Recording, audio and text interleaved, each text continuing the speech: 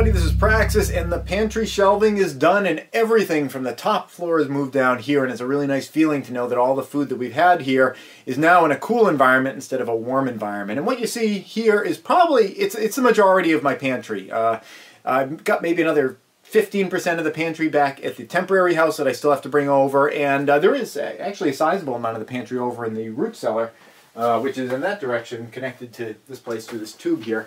Um, but uh, you know, the majority of it is here, and it's it's a good feeling. And I'm really, uh, I'm also really feeling good about the dimensions of these shelves. I think they really worked out nicely. These 28 inch deep shelves are great for having storage bins slide in and out.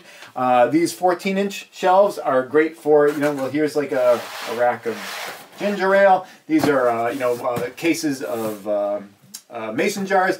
You know, the 14 inches really works for that kind of thing. And the heights worked out well too. I, and I designed the heights for what was going in. In terms of mason jars, I designed these shelves so you could get two stacks of mason jars on these shelves. You know, either in boxes or you could put in some and then put a layer of cardboard and then put another layer on top of the cardboard.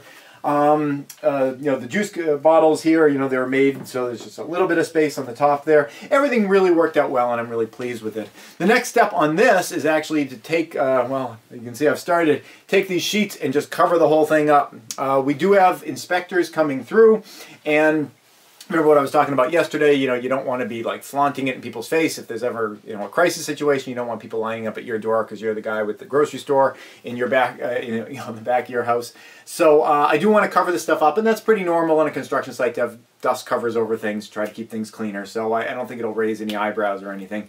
Um, and we do still have three inspections left because the inspector for the plumbing didn't show up yesterday.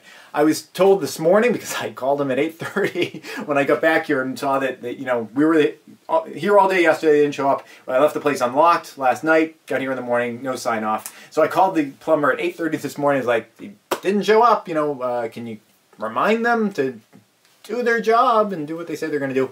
Uh, I was told they had an emergency of some sort, like a boiler exploded, and, you know, there's always an emergency. Uh, you know, if you've learned nothing in this series, it's got to be this: is that you know people say they're going to do something. There's a really good chance there's going to be an emergency and they're not going to do it. So um, hopefully they're going to come today because if they don't come today, we've got a major snowstorm coming through tonight into tomorrow. Uh, and I, you know, I'm not sure when I'll see them uh, after that because I'm sure there'll be all sorts of emergencies related to that. Um, in terms of my day tomorrow, I'm probably going to be spending half of it just getting here. I'm going to have to plow the temporary house, drive over here, shovel the entire driveway here because the plow I have there I can't bring over here until we move. Uh, so I'm going to have to shovel the entire driveway just to get down here. You guys have been watching the series, you know how long that driveway is going to be uh, to shovel. So um, I think half the day I'm going to spend on that. Uh, but the rest of the day today, what I'm going to do is once I get these covered up, uh, I'm going to do some more board cutting. There are a few places here and there in the house uh, that don't have boards, nothing that's going to keep us from moving in. Uh, the inspector's not showing up. That's what's going to keep us from moving in. But, um, you know, I figure I might as well cut those boards because I'm doing the cutting outside, and while it's bitter cold out today, it's going to be bitter cold and super snowy tomorrow. So I figure I will, uh, I will get those boards cut, and then I spend know, the next week in here, just kind of sanding things up, sealing walls. Uh, in two days, I can start sealing the floors on the second floor. And then we're, re we're really just in the...